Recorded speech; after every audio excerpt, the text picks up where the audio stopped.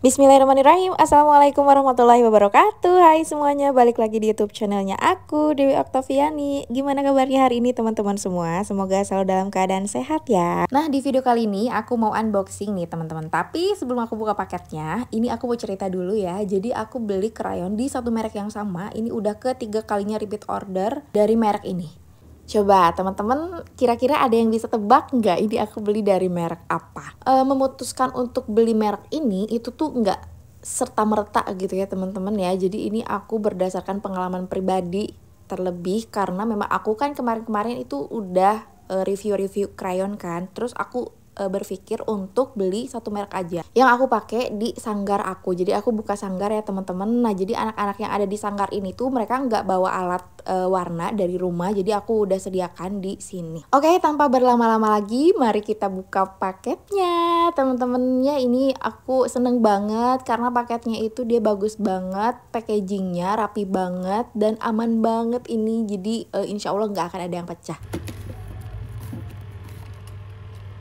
Dan ini dia nih teman-teman bisa ngintip sedikit nggak? Ini merek apa coba kira-kira? Satu, dua, tiga. Oke, okay. ini dari merek Gribble teman-teman. Teman-teman kayaknya udah pernah deh aku ceritain kan kalau aku tuh bener-bener favorit banget sama krayon ini. Nah ini aku beli satu, dua, tiga pak ya teman-teman yang isinya 55 warna. Jadi kalau di total ini kira-kira kan kalau 55 warna tuh ada 60 keping ya.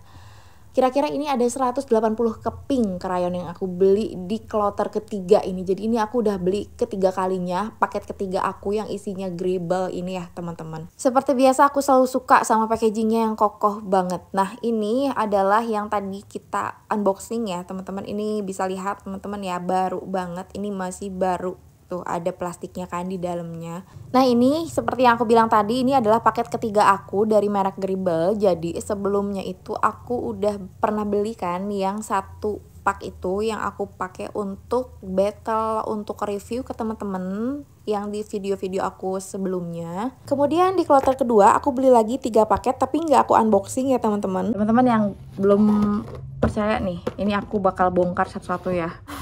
Nah, ini gribble kan tuh gribble ini aku nggak di endorse loh ya teman-teman. Aku beli pakai uangku sendiri. Tuh gribble gribble lagi.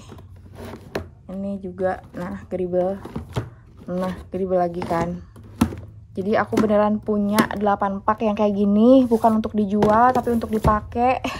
Satu paketnya itu isinya 55 warna. Uh, enggak 60 keping 60 keping dikali 8 paket itu udah 480 dan ini adalah rekor krayon terbanyak yang aku punya secara pribadi gitu ya teman-teman bukan untuk jualan gitu ya. Kalau pabriknya atau misalnya untuk jualan distributor itu pasti lebih banyak dong. Tapi ini di sini benar-benar aku real dipakai secara pribadi. Terlebih memang aku pakai untuk anak-anak aku yang sedang belajar di sanggar aku benar-benar pakai krayon ini. Karena serecommended itu kalau menurut aku ya Gribble itu. Uh, dan yang jadi catatan aku di sini adalah kenapa aku benar-benar memutuskan untuk pakai krayon Gribble ini.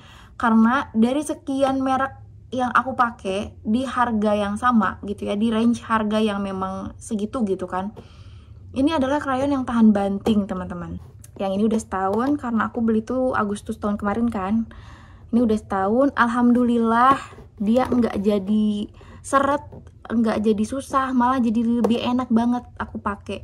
Jadi e, saat aku bikin contoh gambar atau aku bikin konten juga aku sering pakai krayon ini. Makanya ini habis krayonnya cepet habis juga gitu kan. Karena emang bener-bener sering banget dipakai. Dan ini yang pendek-pendeknya bukan karena patah ya karena sering banget dipakai. Ya untuk temen-temen yang nonton video battle aku di situ aku bilang kan kayak aku tuh dalam hati aku memang suka sama gribble gitu selain memang harganya terjangkau dia tuh gemuk ya teman-teman. Itu kayak apa ya compact gitu loh kalau dipegang tuh dia padat gitu kan.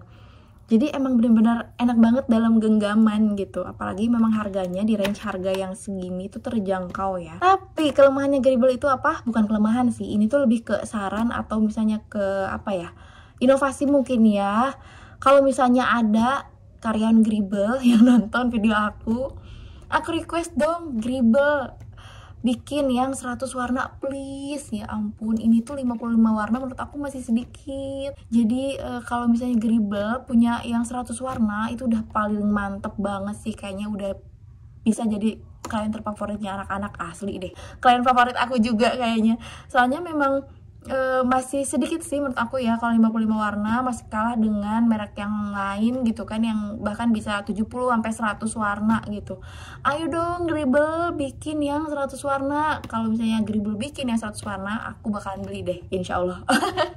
Oke, okay, mungkin sekian dulu video dari aku. Semoga videonya bermanfaat. Balik lagi ya, teman-teman. Di sini aku nggak mau kayak, ih mendingan krayon ini, mendingan krayon ini ini krayon aku review dan aku unboxing itu sesuai dengan selera dan sudut pandang aku ya teman-teman. Jadi kalau misalnya ada teman-teman yang beda selera sama aku kita saling menghargai aja ya teman-teman ya. Karena balik lagi ke selera masing-masing. Untuk alat untuk uh, apa bahan-bahan mewarnai itu sebetulnya hanya pendukung ya teman-teman ya. Yang paling penting itu adalah skill kita mau diasah atau enggak gitu kan? Oke? okay? Oke, terima kasih yang sudah menonton videonya sampai akhir. Jangan lupa like, komen, dan subscribe. Jangan lupa nyalakan juga lonceng notifikasi supaya teman-teman bisa dapat pemberitahuan saat aku upload video baru. Terima kasih semuanya. Wassalamualaikum warahmatullahi wabarakatuh. Bye-bye.